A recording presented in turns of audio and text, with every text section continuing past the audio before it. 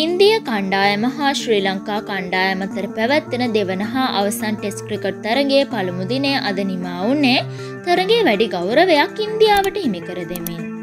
දිනේ නිමාවන විට සිය පළමු ඉනිම ක්‍රීඩා කරමින් සිටි ශ්‍රී ලංකාව කඩුළු හයක් දැවී ලබා සිටි ලකුණු සංඛ්‍යාව අසූ හයක්.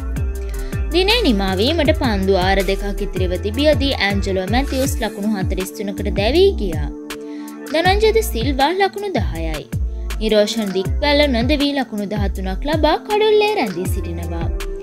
කුසල් මෙන්ඩිස් ලකුණු දෙකකටත් දිමුත් කරුණාරත්න ලකුණු හතරකටත් ලහිරු තිරිමාන්න ලකුණු අටකටත් දැවී ගියා. චරිතස්සලංක ලකුණු පහයි. පන්දු ඇවීමේදී ජස්ප්‍රිට් බුම්රා කඩුළු තුනක් දවාගත් අතර මොහොමත් ශාම් කඩුළු දෙකක් පිඳහෙළුවා.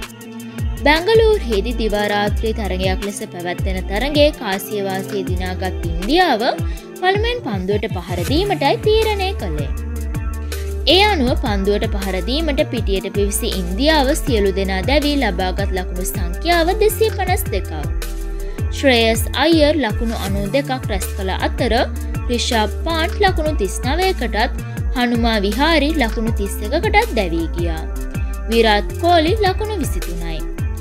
පන්දු යැවීමේදී ලසිත් ඇඹුල් දෙනිය හා ප්‍රවීන් ජයවික්‍රම කඩුළු තුන බැගින් බිඳහෙළුවා. දනංජෙද සිල්වා කඩුළු දෙකක් දවාගත් අතර සිය අවසන් ටෙස් තරගයට ක්‍රීඩා කරන සුරංගලක් මල් එක් කඩුල්ලක් විඳහෙළුවා. ශ්‍රී ලංකා දඟපන්දු යවන්නන්ගේ පන්දු පාලනය ඉතා දුර්වල මට්ටමක පැවතීම හේතුවෙන් ඉන්දිය පිතිකරුවන් ඉතා අසීරු තනතීරුවක පවා ලකුණු දෙසිය පණහක සීමාව පසු කරයාම විශේෂත්වයක්.